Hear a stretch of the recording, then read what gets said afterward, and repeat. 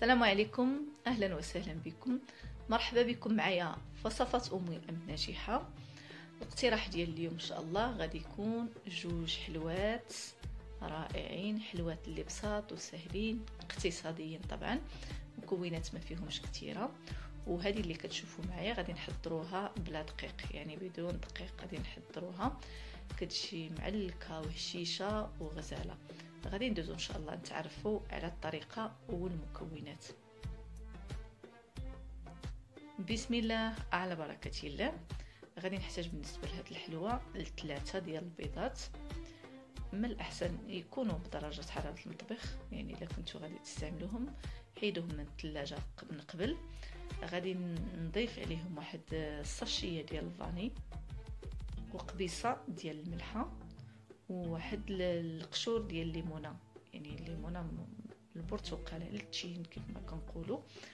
حكيتو وواحد المعلقة عامرة مزيان ديال المشماش ال confiture ديال المشماش اولا مربى ديال المشماش.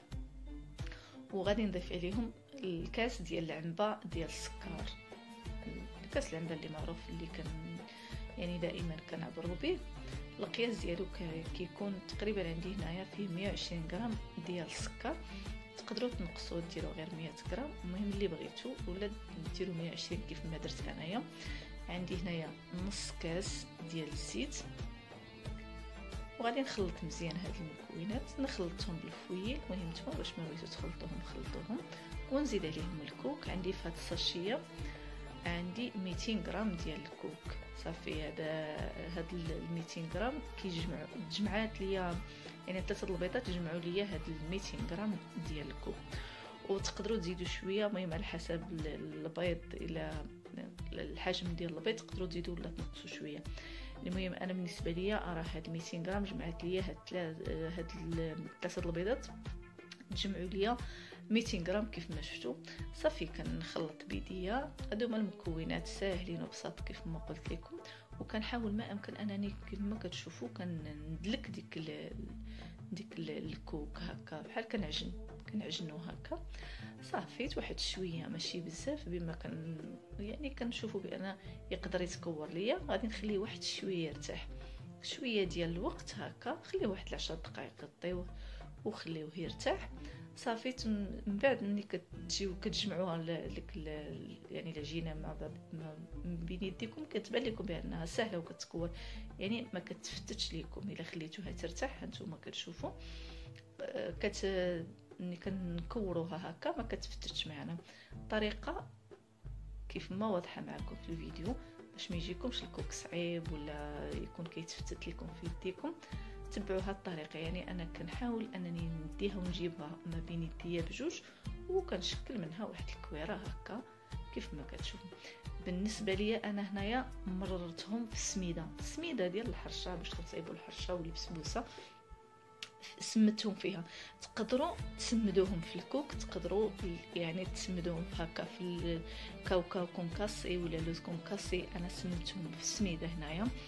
كيجي واحد كتجي من من برا عاطين واحد القرماشة ومن الداخل كيجيو معلكين المهم آه، إلا بغيتو ديروا هاد الطريقة اللي درت أنا راها زوينة. كتجي من الداخل الحلوة مقرمشه من الداخل لأنها مررناها في السميده ومن الداخل كتجي معلكه وزوينة. المهم تبارك الله راه خرجت ليا هاد 200 غرام. كيف ما شفتوا خرجت ليا الطوا كلها عامرة وزايد وشي جويجات يعني من الفوق. بالنسبة للتزيين هنايا أنا شفتوني غير كورتهم يعني ماشي بستهم ولا كورتهم هكا كويرات وزينتهم بالطريفات ديال ال pistache. تقدروا تزينوهم باللوز ولا الكاوكاو ولا تخليوهم هكا اللي بغيتو. بالنسبة للفران بالنسبة للفران شعلته على 180 درجة من التحت ومن الفوق. راهم كيطيبوا كيتشقوا يعني كيتشقوا على بحال الشكل ديال الغريبة حتى هما كيتشققوا وعطيوهم الخاطر هكا واحد 15 20 دقيقة يعني ساهلين ما كيطيبوش مع غير الكوك. راه دغيا كيطيب لينا حتى كيتحمروا كياخذوا هاد اللوين كيف ما كتشوفوا راه كيجيو غزال كيجيو المذاق ديالهم زوين ومعلكين ومقرمشين في نفس الوقت. المهم هذا هو القياس اللي عطاني الطبيصل تبارك الله. 200 غرام خرجت ليا طبسيل يعني كمية زوينة ما لا بأس بها. أنا نحل معكم وحيدة باش غادي تشوفوها من الداخل كيفاش كتجي كتجي غزالة.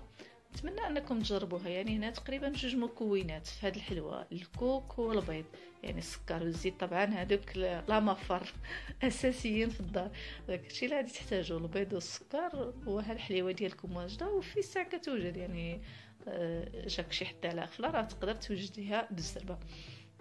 هذه فيما يخص الحلوة الأولى. غادي ندوزو للحلوة الثانية إن شاء الله.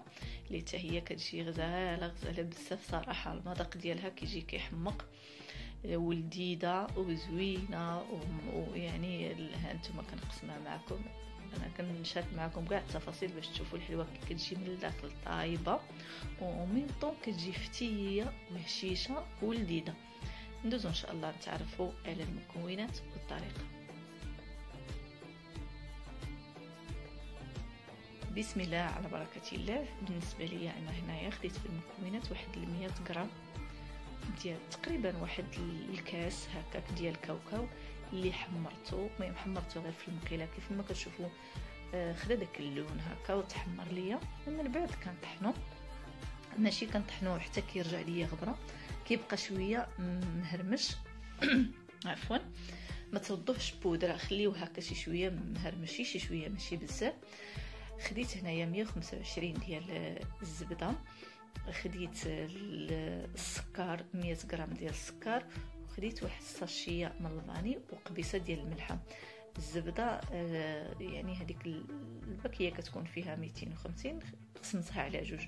بغيتو ديروا أكثر تقدروا ديروا 250 غرام ديال الزبدة أنا قسمتها على جوج. مع كيف ما قلت لكم السكر وقبيصة ديال الملحة والفاني وزدت عليهم تقريبا واحد ربع كاس ديال الزيت ماشي نص كاس. ربع كاس ديال الزيت. صافي وغادي نضيف عليهم هاد الكاوكاو. هانتوما كتشوفوا القوام ديالو يعني ماشي ماشي كبودر حتى رجع ليا غبرة غير شوية. صافي وكنخلط هاد المكونات كيف ما شفتوا هكا.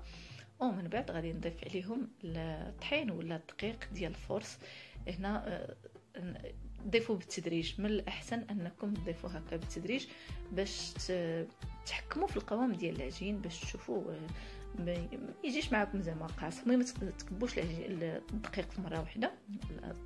الطحين. صافي كتبقاو كتزيدوا شوية بشوية حتى كيبان لكم بأن داك يعني نقدروا نكوروا داك العجين عاد كتحبسوا بالنسبة لي أنا خدات ليا هنايا واحد 300 غرام. قل شي شوية ماشي ماشي 300 غرام. قل شي شوية ديال المهم ضيفوا شوية بشوية الدقيق. باش تحصلوا على القوام اللي كيكون رطب ديال هاد العجينة وميم طو كيتجمع لكم صافي من بعد مباشره بديت كنشكل منهم كويرات. خديت القياس هكا بالمعلقة صغيرة ولا عينكم ميزانكم. على حسب اللي بغيتو ديروا الكويرات واش كبار ولا صغار كنفندوهم في سكر كلاصي هكا.